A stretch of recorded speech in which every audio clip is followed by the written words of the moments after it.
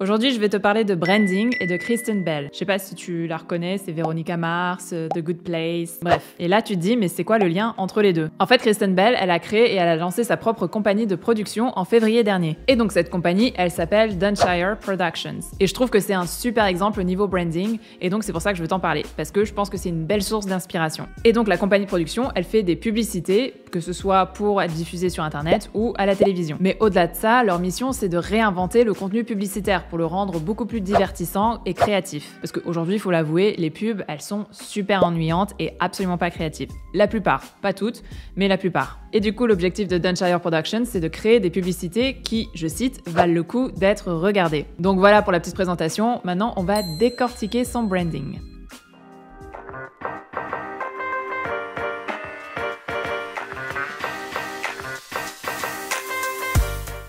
Donc pour commencer, on va aller voir leur site internet, parce que en fait leurs réseaux sociaux sont pas du tout actifs encore. Donc quand tu arrives sur leur site internet, tu remarqueras que leur identité visuelle, elle est très marquée et très singulière. Donc les couleurs vont bien ensemble, mais plus que ça, elles décrivent une personnalité. Rien qu'avec les couleurs, tu peux comprendre qu'il y a un côté créatif et un petit peu enfantin. Genre pas trop sérieux quoi. Et d'ailleurs, si tu regardes le logo, eh ben, je sais pas pour toi, mais pour moi, ça ressemble à un jouet d'enfant. Tu sais, les jouets où tu devais genre mettre le triangle dans le triangle, le carré avec le carré, les trucs en bois, tu sais. Mais bon, c'est juste mon avis. Dis-moi ce que tu en penses, si ça te fait aussi penser à un jouet ou pas. Ensuite, si tu regardes le copywriting, tu verras que ça match complètement la personnalité décrite par les couleurs. Donc, on a un côté genre, je me prends pas au sérieux, enfantin, amusant et créatif. Par exemple, we make the funnies, you make the monies. Ce qu'on peut traduire par euh, on s'occupe du fun, vous faites les sous-sous. En tout cas, ça sonne mieux en anglais. Ensuite, si tu lis aussi les avis des clients, c'est super drôle. S'il vous plaît, arrêtez d'appeler chez moi, vous effrayez mes enfants.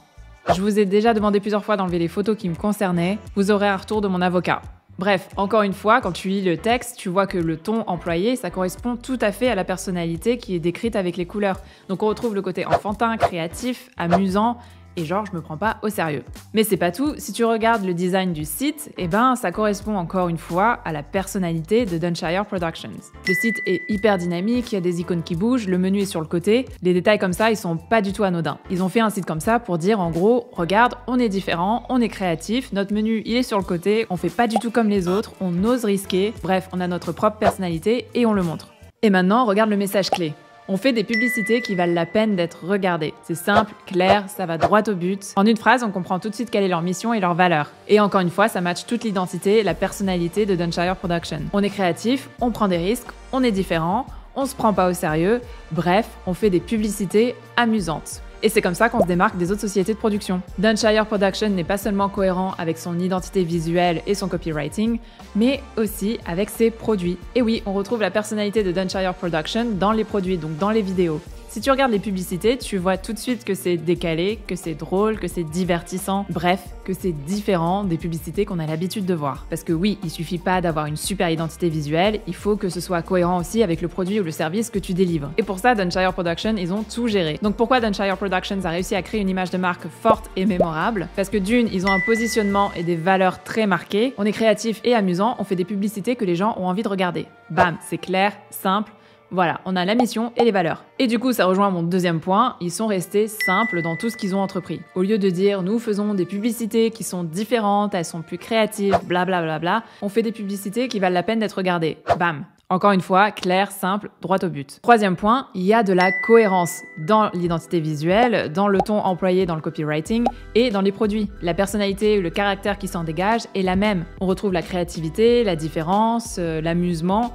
Bref, tout est cohérent. Et quatrièmement, il y a un petit élément magique qu'il ne faut pas négliger, la personnalité de Kristen Bell. Forcément, elle est cofondatrice et forcément, elle y a mis un petit peu du sien et elle y a ajouté un petit peu de sa personnalité, ce qui rend la marque encore plus unique. Et ça, c'est pas à négliger parce que quand tu es un petit business et que tu veux te démarquer de la concurrence, il faut que tu te démarques aussi avec ta personnalité. Pas forcément parce que tu vas te montrer devant la caméra ou voilà, mais à travers peut-être des actions, à travers tes valeurs, à travers tout ce que tu vas mettre en place dans ton business. Ajoute un peu de ta personnalité parce que c'est ça qui te rend finalement unique par rapport à tes concurrents. Et Kristen Bell, bon, on la connaît pas, c'est une actrice, on sait pas vraiment comment elle est dans la vraie vie, mais elle a l'air d'être plutôt quelqu'un d'assez drôle, qui se prend pas du tout au sérieux, et du coup, on imagine qu'elle est aussi un petit peu créative. Ça rejoint complètement Dunshire Productions. Bref, c'est sympa tout ça, mais ça te dit pas comment créer ton identité visuelle pour qu'elle soit forte et mémorable. Bon, du coup, je vais te dire ça tout de suite. Premièrement, il va falloir que tu identifies ton audience. Et ouais, encore une fois, je crois que si tu regardes toutes mes vidéos, je me répète assez souvent, mais il faut vraiment que tu saches à qui ton business s'adresse, qui tu veux viser avec ton produit ou ton service. Parce que c'est la base de la base. Si tu sais pas à qui tu t'adresses, ça va être difficile de te créer une personnalité. Parce que si tu sais pas à qui tu t'adresses, tu vas pas forcément savoir comment t'adresser à cette personne, quel ton employer, comment communiquer ou comment te positionner stratégiquement. Ce qui est le second point. Quand tu crées ton image de marque, il va falloir que tu saches quel est ton positionnement stratégique.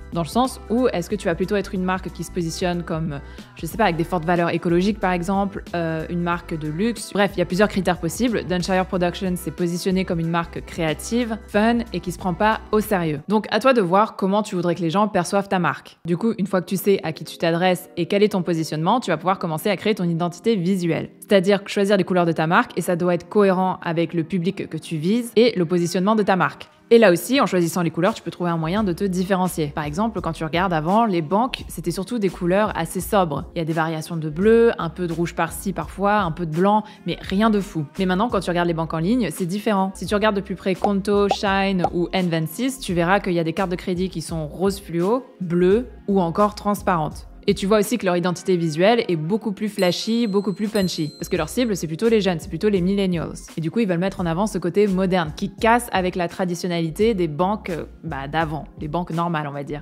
Et pour ça, rien de mieux que de choisir des couleurs qui vont un petit peu à l'encontre de ce qu'on a l'habitude de voir dans le domaine des banques. Et ça marche très bien. Mais le choix des couleurs s'est fait stratégiquement parce que les banques savaient exactement à qui elles s'adressaient et quelle image elles voulaient renvoyer. Donc elles s'adressent aux millennials et elles veulent renvoyer une image moderne. Donc à toi d'identifier qui est ta cible et quelle image tu veux renvoyer auprès des consommateurs. Et surtout, est-ce que c'est cohérent entre les deux? Et donc une fois que tu as choisi les couleurs, tu vas pouvoir créer tout ce qui est bah, visuel, c'est-à-dire le site internet, le logo, tes cartes de visite, euh, la déco de ton studio, enfin bref, peu importe, tout ce qui est visuel. Et pour créer le logo, bah, c'est quand même mieux que tu passes par un graphiste ou un professionnel, si tu peux pas le faire toi-même. Parce que mine de rien, il y a pas mal de choses auxquelles tu dois penser quand tu crées un logo. Et si tu ne t'y connais pas très bien, ça peut être un problème. Il faut que ton logo soit simple, et donc c'est pour ça que ça rend dingue les graphistes quand quelqu'un dit oui, je veux pas un logo que mon fils de 6 ans peut faire, parce que ça n'a aucun sens. Le logo doit être simple, parce qu'il doit être mémorable, et surtout, on doit le reconnaître. Si tu fais un truc hyper détaillé avec trop de détails, déjà d'une, ça va être difficile de le décliner sur différents supports, et de deux, ça va aussi être beaucoup plus difficile pour le consommateur qui n'a jamais vu ta marque, qui n'a jamais vu ton logo, ben, de le reconnaître et de le mémoriser. Donc un bon logo, c'est un logo qui est facile à décliner, que ce soit de différentes couleurs, en noir et blanc, sur différents supports. Pense aussi à l'impression. Le logo doit aussi être facile à mémoriser et facile à reconnaître. Et bien sûr, il doit comporter les couleurs de ta marque. Et c'est pareil pour ton site internet. Il doit être simple et clair. Les gens n'ont pas envie de passer trois heures à savoir où aller, quel menu cliquer, euh, où trouver l'information. On n'a plus le temps. Donc ça veut dire qu'en 5 secondes, si une personne n'a jamais vu ton site internet, ne connaît pas ta marque, si la personne ne peut pas répondre à ces quatre questions, ce que tu offres, pour qui, en quoi ça va l'aider, et comment te contacter ou comment acheter le produit ou le service, eh ben c'est mal barré. Donc reste simple, t'as pas besoin de faire un site internet hyper dynamique avec plein de trucs, bim bam boum, t'as pas besoin. Reste simple dans ton design, reste simple dans ton copywriting et tout ira pour le mieux. Et enfin, n'hésite pas à ajouter ta touche personnelle, que ce soit dans le ton que tu emploies dans ton copywriting ou dans ta façon de communiquer en général, si tu fais des vidéos ou même dans les visuels Instagram n'hésite pas à ajouter ta personnalité. Parce que, encore une fois, c'est ce qui va jouer, c'est ce qui va te différencier de tout le monde. Parce qu'il n'y a pas deux personnes comme toi. Et voilà, c'est tout pour aujourd'hui. J'espère que cette vidéo t'a plu. N'hésite pas à me poser tes questions en commentaire. Et sinon, si tu as aimé le contenu, que tu veux plus d'astuces ou que tu adores les analyses, n'hésite pas à t'abonner ou même à partager, à liker. Enfin bref, tu connais la chanson. Et sinon, en attendant, je te dis prends soin de toi et à bientôt.